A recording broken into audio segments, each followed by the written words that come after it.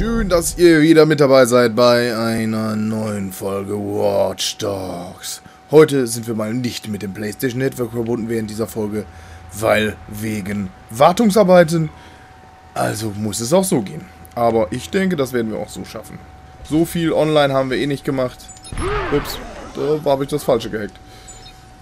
Ich hätte behauptet, das war eindeutig... Oh, 6200 Dollars. Das wurde auch eindeutig angezeigt, dass ich die hacken wollte. Naja, man kann nicht alles haben. Oder wie heißt es so schön? So. Äh, neue Sehenswürdigkeit in der Nähe. Jawohl. Das Old Motel. Das ist total die Sehenswürdigkeit, wenn ich das mal so sagen darf. Das Old Motel. Jawohl. Okay.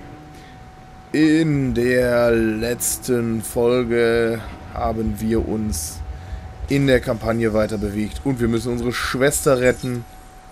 Ähm, ja. So, ich wollte mein Handy nicht wegstecken. Ich möchte...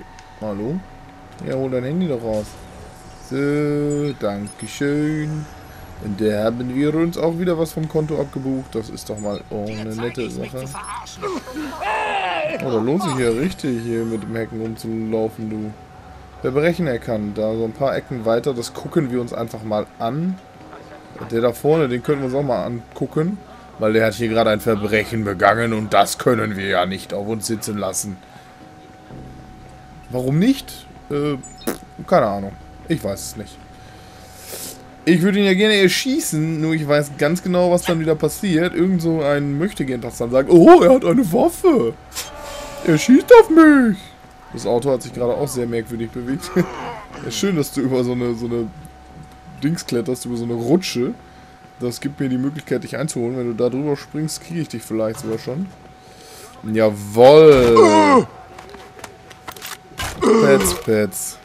Die Typen da vorne sind total uninteressiert. Ah, nee, doch nicht. Er holt sich nachher jetzt den Fang.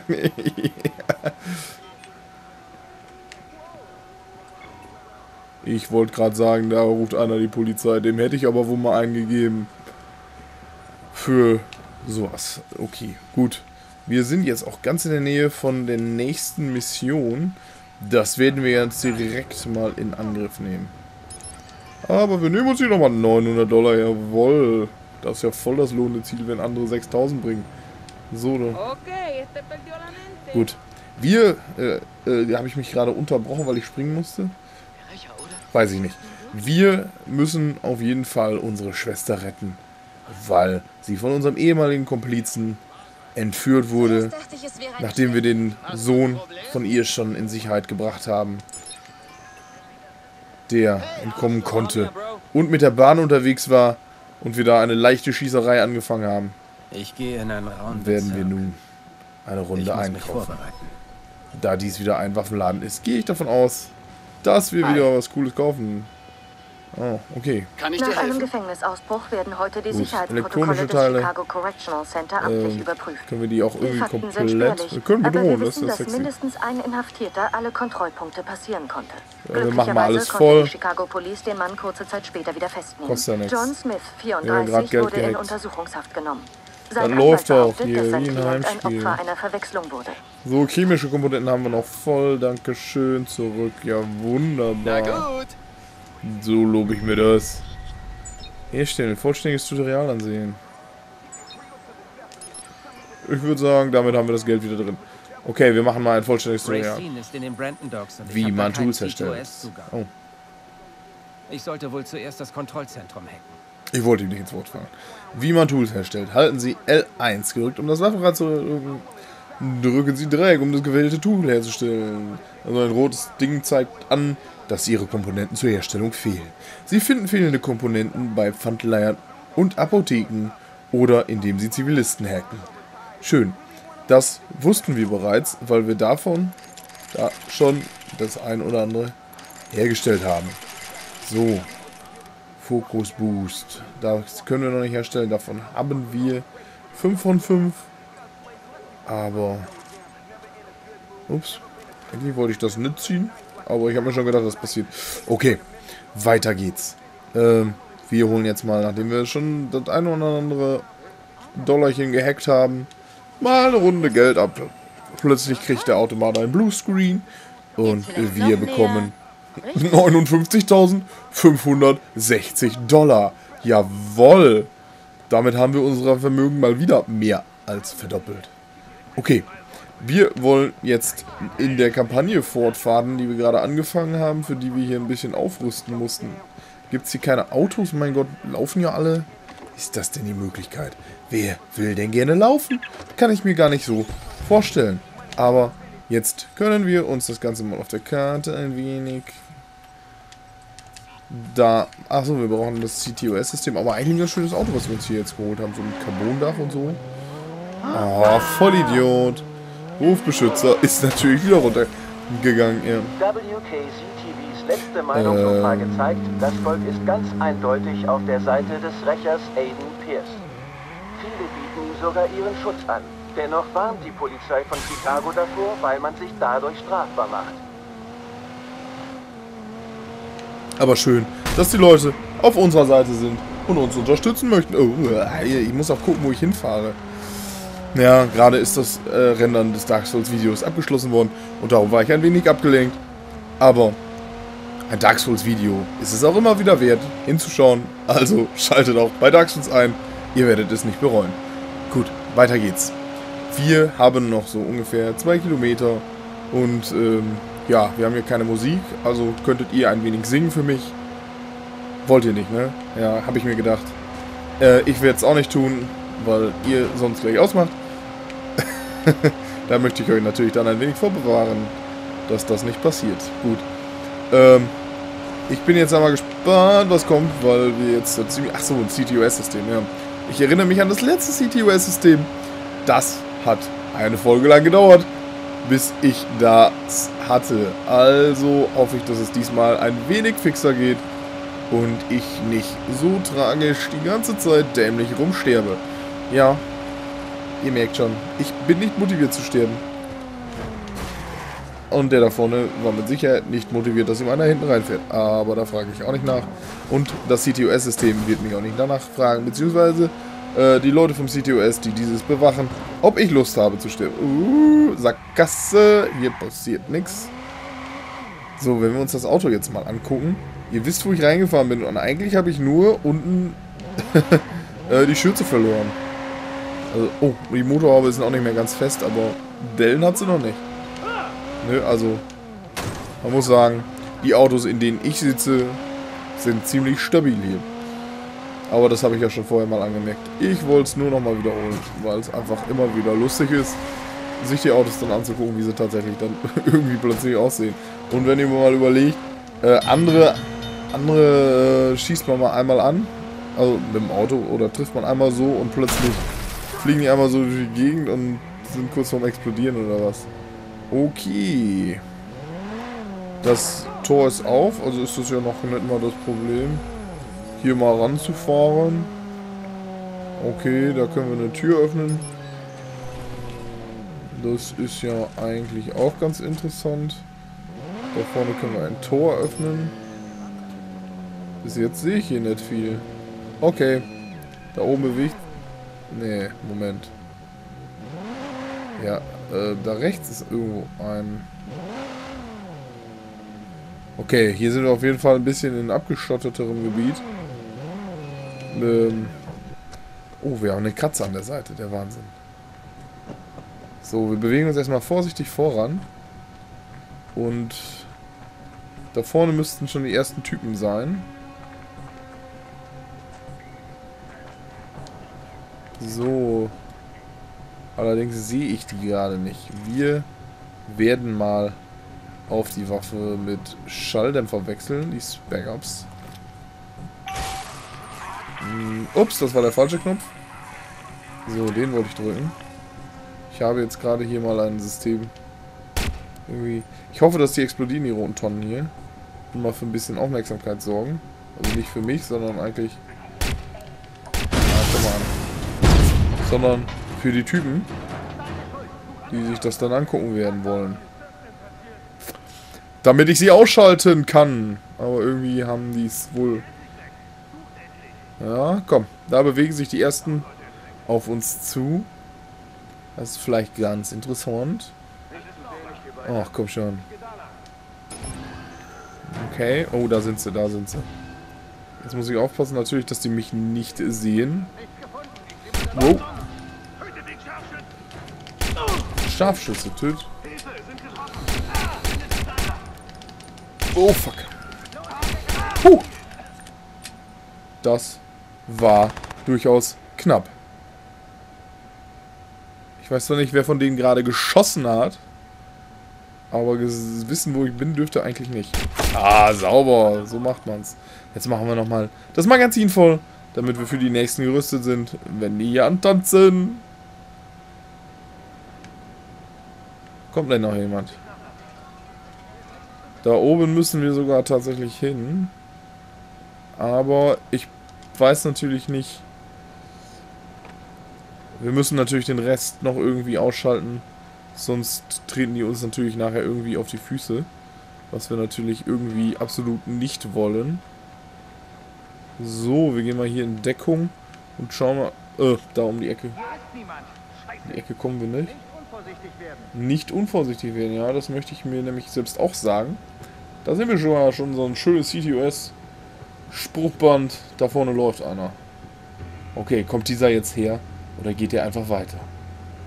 Ja geht erstmal weiter, dreht uns den Rücken zu und wir krallen ihn uns. Jawohl. Da ist eine Kamera, da schauen wir uns doch mal mit um, ob wir was sehen. Da müssen wir uns reinhacken, damit wir Zugriff kriegen. Äh, wir können diese Plattform drehen, okay. Sehen wir uns selbst? Nö. Nö, nö, nö, nö, nö, nö. Aber da ist noch eine Kamera.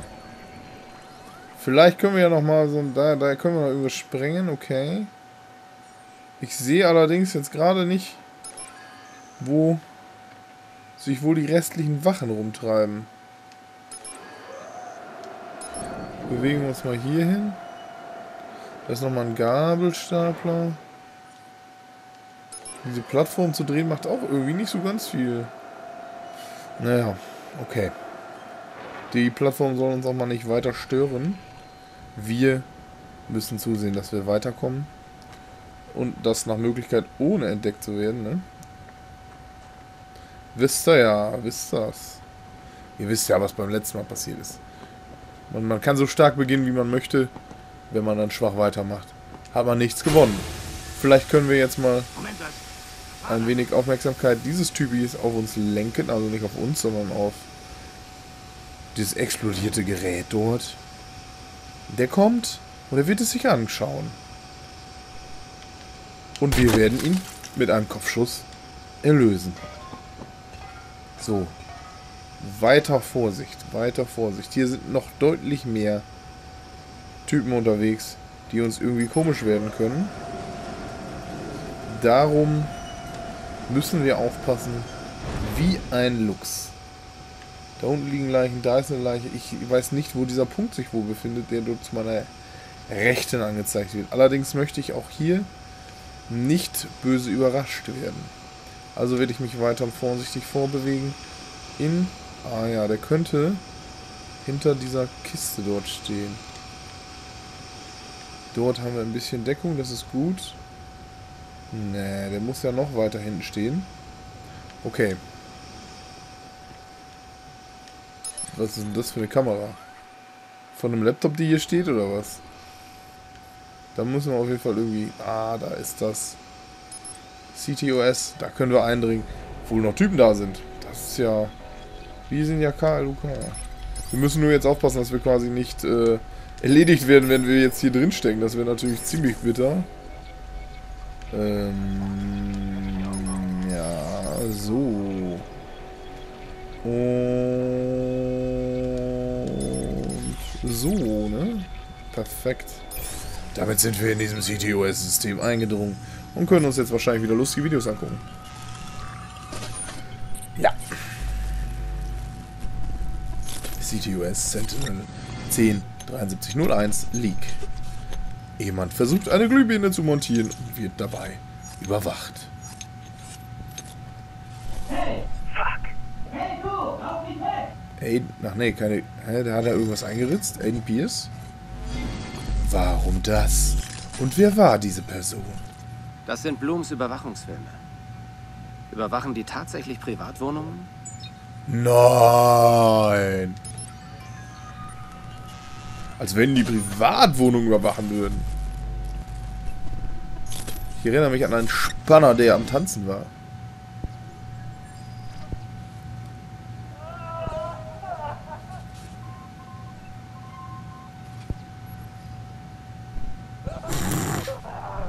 Ich würde sagen, Achtung, Zombie-Alarm.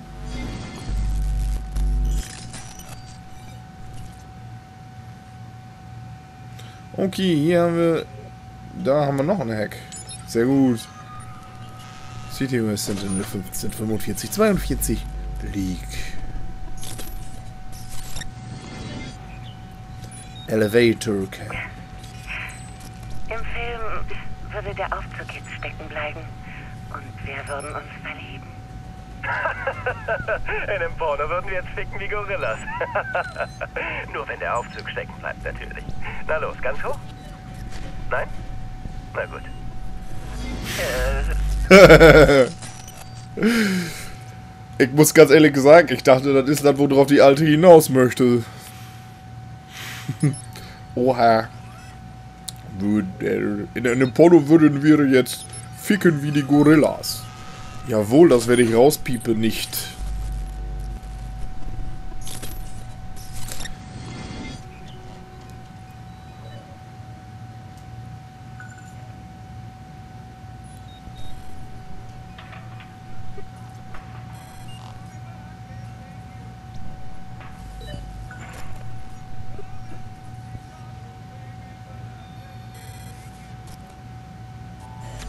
Okay, das habe ich nicht verstanden.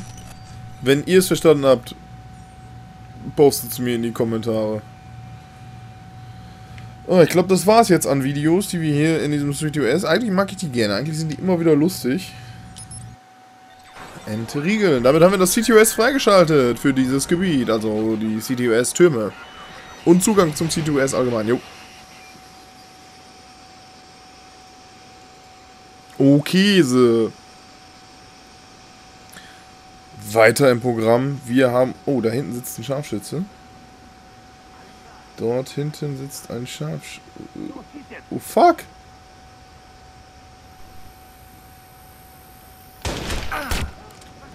Ja, wo wurdest du denn? Also sind drei? Die mich jetzt alle hier irgendwie...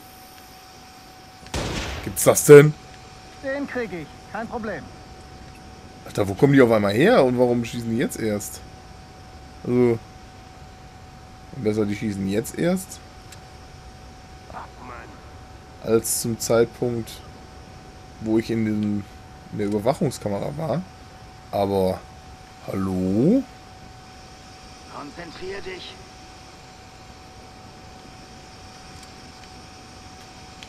Oh, ich. Dort entlang. Ja, das ist ja toll, dass ich mich da aber den könnte ich vielleicht... der war nett. Der war nice. Okay, den haben wir auch noch mit dem Kopfschuss weggeballert. Wobei ich muss ganz ehrlich sagen, der erste hat mir am besten gefallen. Der ein wenig, ein wenig äh, in Explosionsprobleme geraten ist. Warum wird der mir denn Serverraumzugang? Achso, ja, den haben wir doch schon. Okay, jetzt. Sucht weiter. Siehst Schaffen wir das? Ich glaube, der ist weg. Äh, nein. Ich denke nicht. Sag ich ja.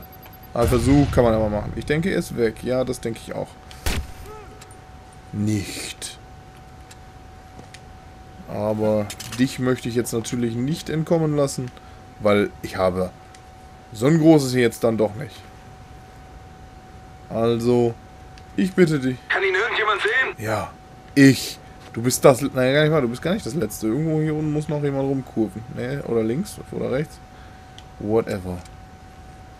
So, genau. Du stehst da am Fenster schon ganz gut. Kopfschuss. So. Da war es nur noch einer. Den werden wir uns jetzt natürlich auch noch gönnen. Weil alles andere wäre ja langweilig. Es gibt sogar Autos vom CTOS. Das ist ja cool. Das will ich haben. Der kann sich nicht in Luft auflösen. Ja, das sagst du. Der sitzt doch nicht im Auto, oder? Ach, da hinten steht er. Ah, ihr habt ihn schon dreimal gesehen, ne? Da ist sogar einer, der Verstärkung rufen könnte, ne? Naja, jetzt nicht mehr. Schön. Okay, bin drin. Jetzt Receive. Finden wir raus, was du über Nikki weißt. Okay. Damit sind wir in dem CTOS-System. Racine. Mal sehen, wo das ist. Hab dich, Robert Racine. Ja, Robert, ist doch schön. Ich vermute, du wirst in der nächsten Folge Besuch bekommen. Vom, ihr seht es, CTOS. Also, seid doch in der nächsten Folge wieder dabei, wenn es äh, zu dem guten Kollegen geht. Und äh, wir weiter versuchen, unsere Schwester zu befreien. Es bleibt spannend hier bei Watch Dogs und Liquid Let's Plays. Willkommen zurück bei Power Profiles. Heute das Porträt von Lucky Quinn. Wegen der kriminellen Geschichte von Chicago erkannte Lucky Quinn recht bald, wo das große Geld steckt. Ich kannte sogenannte Mafiosi, ja. Sogar mehrere von ihnen. Und ja, ich hatte auch hier und da Ärger. Welcher rebellische Junge nicht? Und diese Rebellion führte dazu, dass er oft mit dem Gesetz in Konflikt kam.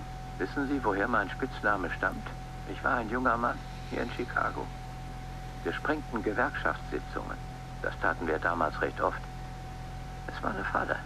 Ein Hinterhalt. Einer der Angreifer zielte auf mich und drückte ab. Wieder und wieder. Und ich ging zu ihm und erschoss ihn. Eine der Kugeln streifte mein Ohr und all meine Begleiter starben. Seitdem heiße ich Lucky. Komischerweise wurde Quinn wegen Notwehr von allen Anklagen freigesprochen. Wir machen eine kurze Pause. Bis gleich. Und damit haben wir uns äh, von dem Radio noch eben das Wort zum Mittwoch geben lassen und damit sind wir jetzt wirklich raus. Ciao.